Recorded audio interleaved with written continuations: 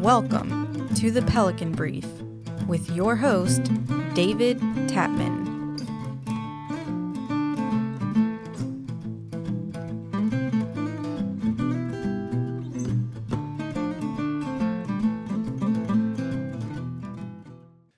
Welcome to the Pelican Brief. I am your host, David Tatman. Thank you so much for joining us today. Uh, we have a special guest in the studio this morning uh, Emily Chenevert, who's running for House District 66. Uh, Emily is an LSU graduate in journalism uh, with a minor in theater, which mm-hmm. is I find really really interesting.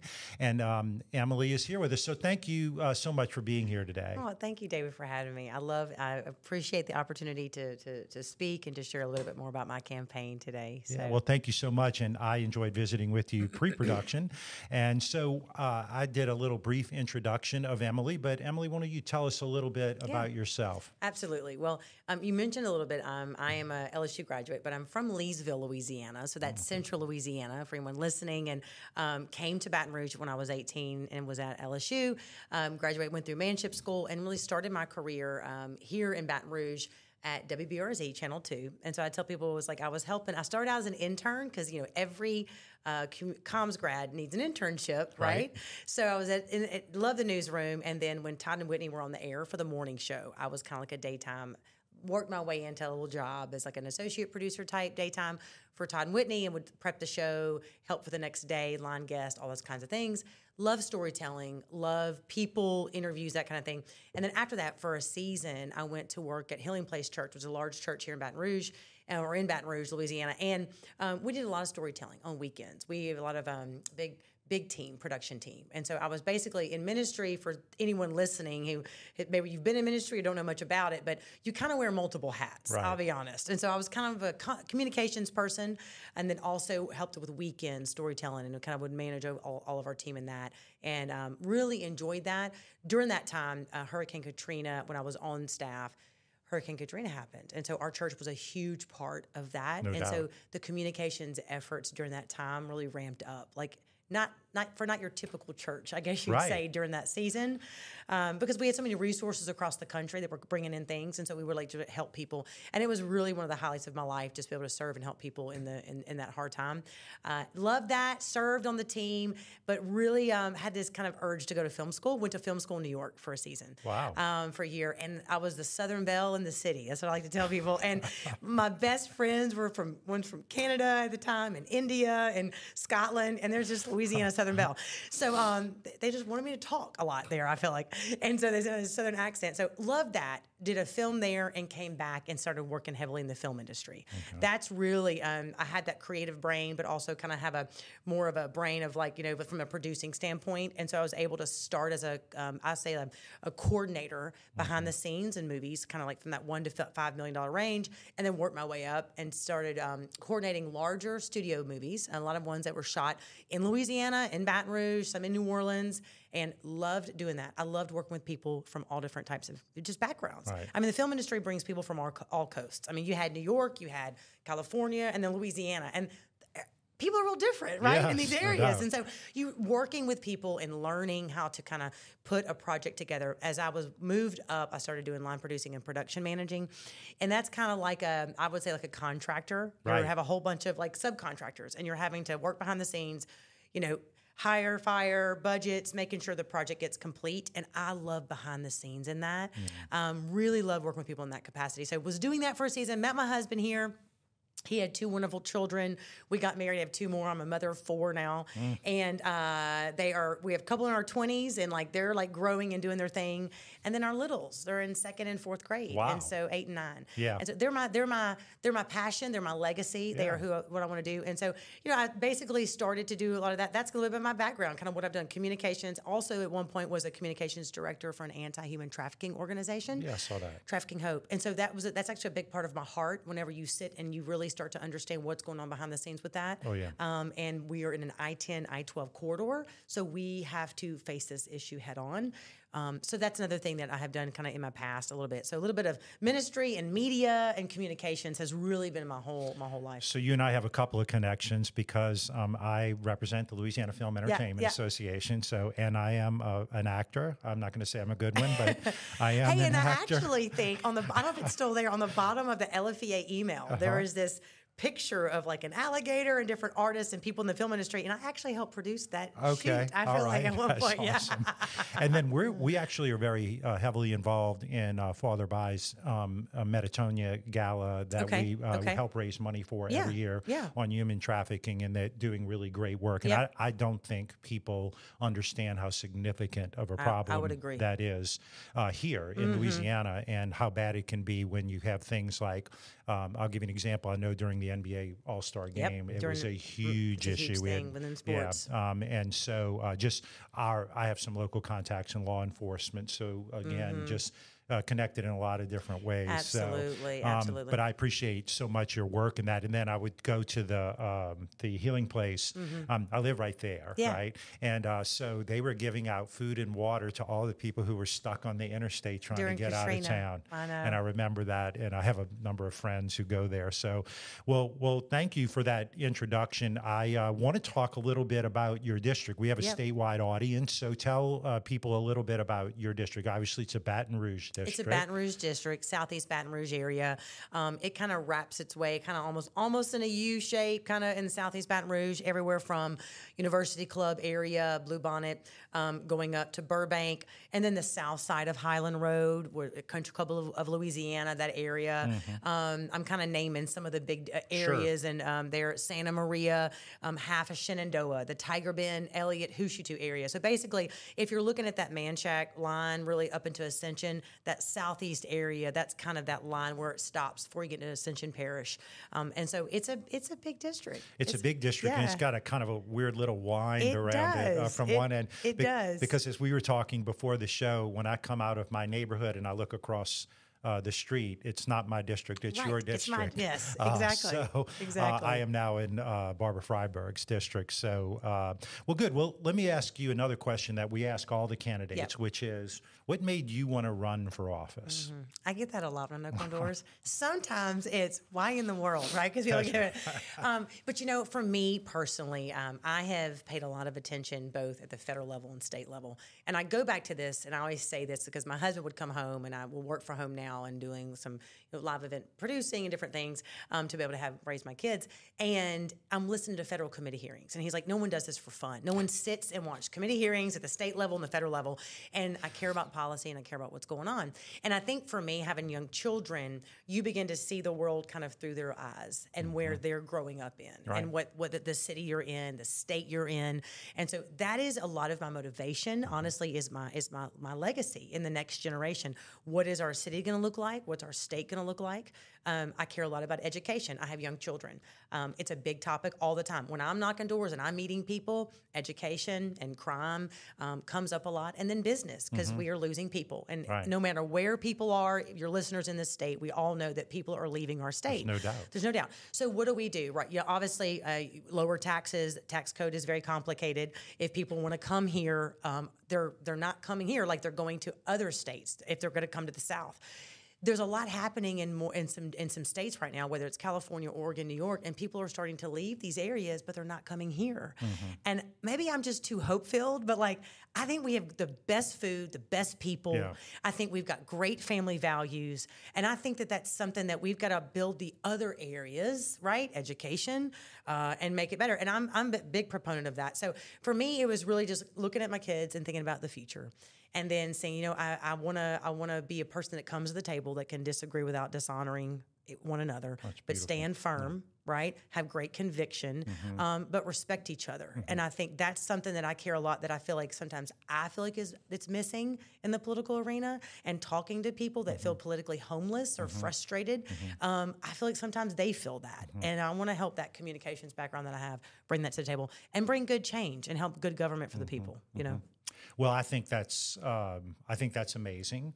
Um, I hope you can do that as a legislator because my son, um, LSU uh, mechanical engineering uh, graduate, w- um, had to go to Virginia to get the job that he wanted, and that's just kind of No parent wants that, it right? breaks my heart. Although it's nice to go visit Virginia, Right, Um, And then he has uh, seven other uh, LSU engineering students who work in on that same project, which is building aircraft carriers for the United States Navy.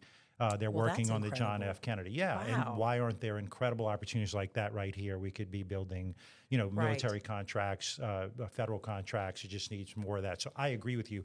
I will say the work you're doing in the film industry is part of that, right? It's Uh-huh. A diversified economy. Oil It and is. gas is great, but we need other ways for people to be engaged and be a part of the process. Correct. So- especially, especially young people coming out of school, right? You want them to feel like, look, they may want to go somewhere and experience Sure. life for a minute, but we've got to make sure that we're building the infrastructure, building the things for them when they come back, that Right. when they're starting a family, like we are, is there a school option for them? I'm, Right. I'm big on school choice because of, look, I, I grew up in a public school here in Louisiana, in Leesville, Leesville High School graduate. Loved my experience, but every area of the state's different. And in our area, a lot of families are Catholic, paying for, they're paying for private school, That's they're right. paying for Catholic school. So I care a lot about um, allowing the money to really help follow the child. Yeah. Um, let empower parents and let parents say, hey, you know what, this may not be the best school for my child. So do I have an option there? And I think that if young families, when they're starting and they're starting salaries and building their own businesses, if they have that and they feel like it's a great place for their child, they're they'll come back. I Mm-hmm. think they'll be here. They'll stay here because there's nothing better than raising family, raising your own little family next to your family. That's right. And I think Louisiana cares about those I, things. I agree. And my son did not want to leave. Yeah. He wanted to be here, yeah, as, yeah. as I'm sure lots of people do. When I go up there, I cook a gumbo for all the guys and of course you gals. do, right? yeah. it's always a little cooler up there anyway. Yeah, so, yeah. so one of the things we do with our guests is we do a little magic trick, right? So you were elected last night, and and then tomorrow you start first day on the job. What are you going to do as the state representative for District 66? Well, I'll say, um, probably hit my knees and say a big prayer. Like, Lord, help me, right? Absolutely. Uh, no, and I'm being serious about that. It's a big part of my life. Um, but um, I, I talk about education a lot. Um, Mm-hmm. One thing I want to get to know um, colleagues and figure out what are some of the things that they have been trying to push across the line that I agree with, right? Within Right. education savings right. account being one of them. What are some things that they are really making headway on that they Mm-hmm. need? Um, they need a, they need someone to come alongside and help uh, co-sponsor or help push it across the line. I, I, I don't, you know, I feel like stepping in there. You want, you know, you want to learn and you want to see what how things work, um, and just say, hey, who are some good players that are really trying to create good government, lower taxes, education, and the same things that I care about. So building allies, right? I think that's a big point of um, building a strong state. It's not just about Emily Chenevert, um, although I'm there to make a difference. It's about working with everybody else that has that same vision for our state. So that's very important to me, um, is building allies and working with people. Um, and I would say um, some of the things specifically is I mentioned education. Um, you know, crime comes up a lot in my district. Um, so, and I understand there's a role as far as every role of government. You've got the city has to focus on their role, and state and, and, and local police. But from a state police standpoint, you know, what are some things we can do to help recruit and get more people here? And I think there's been some good work done um, with, um, you know, incent- incentivizing as far as getting police officers here. Um, but what are some things that we can do more? Like anyone that maybe potentially retired. Now, again, I'm not looking at the budget. And day one, I probably haven't gotten through every line item yet. But are there some ways that we can work on um, if some officers are retired? Can they come back into the force for a few more years without losing those benefits? Mm-hmm. I've been there are some states that are doing that mm-hmm. because this is Louisiana is not the only state that is losing police officers. Mm-hmm. So I feel like as you research, sometimes it's not having the greatest idea. It's like who had a good idea that worked in another state that can bring it here Right. and would it work? Right. So that's a big part for me because I think that when people feel have schools and they feel have their options and they feel like um, they're safe, I think the business side will work itself out. Now we have to have low taxes. We have to get rid of the franchise tax. We've got there's a lot of things we have to do.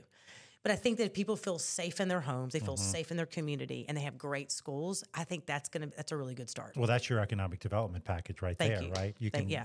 companies are not going to take their employees and move them here or someplace or where crime is high, Correct. and put themselves in harm's way if they don't have to, Right. And so that's a big uh, I, that's a big deal. Uh, It's a big deal, too. and I think I, you know I come from a communications background. I always say sometimes people say, "Oh, it's just talk and it's just messaging." I think messaging matters. I think that all of us who represent our districts in our state, Um, you know, because you represent your districts and you're voting and you're fighting for them. But your vote also it's and it's also going to spread into the state of Louisiana. And so I think those that are elected we've got to have this message to people that are looking to move from other states that are more rigorous, higher taxes, and they're just they feel out of control. Um, come here, and I think from a crime standpoint, messaging matters greatly. I have a good friend that was in Oregon, and they were looking at where to come because they said Oregon was getting too hard for him as an officer, and um, they did not come here because the pay was better in Texas and the schools were better in Texas.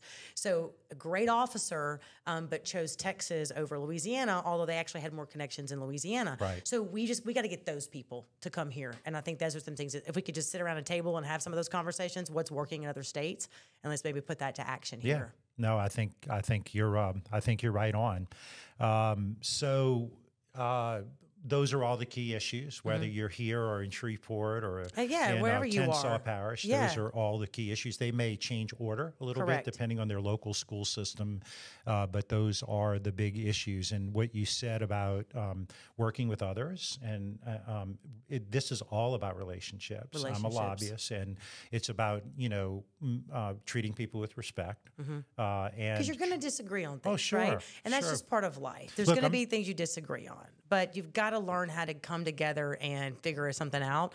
And it doesn't mean that you're always going to find where you know you're you're going to be in this on the same boat, but you have to be able to walk away and know that there's still a level of respect for each other. I agree with you, and and too often we've seen lately where there are people who make it personal, Right. and when you do that, it changes the world. So I appreciate you saying that because I'm not, I'm not sure that that's you know, i I think we are affected by Washington D.C. politics. Yeah, for sure, and for they sure. can't come to a microphone without attacking each other, and so it's it's, hard. Uh, yeah, uh, it is hard, but it can be done, and I know legislators who have done it and done Mm-hmm. it well. So, um, so uh, tell us how you're going to win the race. I mean, that's the key thing, right? Yep. I mean, it's one thing to be a great legislator, but it's another thing to be a great campaigner. So, Right. uh, No, uh, yeah. exactly. So when the race is kind of a big job in and of itself. So tell us how you're going to win. Yeah. So look, this is something that I really have enjoyed. Um, it is um, it's difficult because it's it is it consumes you, but I love it. I genuinely like people, David. Like I genuinely care. Um, I don't see how anyone could do this and not want to see people face to face and see what their concerns are. Right. Um, that's why you're there is for the people. And so um, I am doing a l- grassroots. I have a really good team of people that are helping me, whether it's a few people walking with me, my husband walking with me. I've walked on lots of knocked on lots of doors. And that is to me i think that's a big part of of, of what i'm doing because people can see me on the ground and they they're i'm asking them their concerns right? Um, huge part I'm doing my direct contact pieces things to get in front of the face you know uh, in front of their face more and more um, when it comes to like team of people um, even from a prayer team i'll be honest i'm getting all of it covered you know what i'm saying Yeah. like, I've got- like there's all the things there, right? So we're not, we're, we're like, I need help from all areas. Um, but the main thing is, is just that, that sweat equity. And so I just, that's one thing I tell people is that if, um, you, you probably have got something on your door. If you're not, you will most likely, Right. if I can walk in that neighborhood, Right. um, you're going to probably get a text message. You're probably going to get a phone call from my team members that are calling and, and here's what's awesome for me. I have people helping me that, you know they're not even politi- really mm-hmm. political. Mm-hmm. They've never helped with Right. campaigns. Mm-hmm. They're like, I've never held a sign. I've never knocked on a door for anybody, but I'll do it for you. I've never done a phone bank before. So, and it's it's it's moms and grandmothers and grandfather, and it's you know it's these people that just they they feel that there's we need change and we want good leadership and good government, and so um and I'm humbled by that support. I'm, I'm truly humbled by those that are willing to put their effort and their time into that. So we're doing all the things and we're doing it all the way up until the until that fourth the 14th, you know, of, of election day. So it's been good. It's well, been good. I, look, I see your stuff because again, your district's right across uh, the street. Right, right across the I, street. I ride up and down Highland, or I have a lot of friends in Yeah. Santa Maria and out that way, and I see your signs. I know you're out there campaigning because I know people in that area that will ask me if I know you, Uh-huh. right? And uh, so um, I, you know, you're definitely doing the right things, and I do agree Um, I, I respect people who want to run for public office because it's it's not the, the everyone thinks it's just some plum job. It's not. It's work. If It's you're going to do it right, It's gonna be work. It's going to be work, but it's usually people who want to see change and who want to make a difference. so Mm-hmm, for um, sure. I appreciate you doing Hey, it. and, and I'll say this: it's it's a family affair. My little Yeah. kids, it's really fun. My daughter is. This has turned into a lot of civics lessons for her because she's like, so mom, when I'm when I'm president, make laws, and I'm like, so here's the deal: Congress makes laws, and the president. So it's been fun. But they're they're they're knocking with me some days. And Oh, we, cool. when it, when it was super super hot, you know, they they sometimes they couldn't. Um, but and they're coming up and interacting, Mm-hmm. and I think that's what's interesting. I want them to understand that the why we're Mm-hmm. doing this as a family, and the why mom is stepping out is because I care about the community, I care about my district, I care about the state, Mm-hmm. and so that's again that legacy of like making decisions for generations Sure. to come, where Sure. they see that and that important part of of just you know committing your life and, and being willing to serve. So Yeah, it. Um, I did it for twelve years, uh, Yep. and um, and I loved it. I loved it. What I loved most though was the people, right, Mm-hmm. and that I worked with, and uh, there was nothing better than going into a school and, and and meeting with the teachers and the kids and their families. And to this day, I will be somewhere and I will be, you know, at a grocery store or whatever, and I'll have someone come up, run up, and hug me and thank me Mm-hmm. for what I did for their children when it was really the teachers, the principals, they were the ones who did it. I just tried to get out of their way and give Mm-hmm. Yeah, them the yeah, resources that they needed. And state government's a, a big job. It's a very difficult challenge. So again, I appreciate you uh, taking on that challenge. So, is there anything else you'd like to share with our audience about the campaign or any other things before we wrap up? Well, it's it's been awesome to, to just sit and talk and to hear, you know, just go back and forth into your listeners. I would just say, you know, I would love for people, um, if you're, you know, in our district, hey, and if you're not in the district, you know, feel free check me out on voteemilychenevert.com. Um, there's a lot of information there. Um, but look, I um I was telling someone the other day, we were they were asking me again why I was doing this, and I said, look, I don't need another title. I said this is not about title or um, being put on a pedestal. And I said I carry two of the greatest titles right now as mom and wife. Yeah. And um, you know, there's there's very few things that make me tear up. But you know, you start talking about your kids Oh, yeah. and legacy. That's a big part of it. Um, but I'm doing this because I genuinely think that people are looking for leadership, and um, I think our state um, has its best days ahead. And I and I think the only way to really fight that and move forward is to have that sense of urgency, yet yet positivity and hope. And I and I believe in that because born here, want to want to stay here, pl- always planned on staying here. Like this is where I'm at, so it's like let's do something to make it better. Yeah. So I just want people to understand that, you know, that that, that is my that is my message. Is that I, I, I think our best our best days are ahead of us. Well, thank you so much. A, thank you for running and offering yourself uh, for public service. Thank you for being a guest on our show. Uh, as we move along and get to runoffs, we'll have you back if Yeah. you'd like to come and uh, check us out. absolutely. And uh, so we are the Pelican Brief. I'm David Tatman, your host. Uh, you can uh, find us on all of the podcasting platforms. You can also find us on social media at Pelican Brief 225. You can find us on YouTube at Pelican Brief 225. And you can email us at uh, the Pelican Brief 225 at gmail.com. So thanks again. That's our show for today, and we'll see you next time.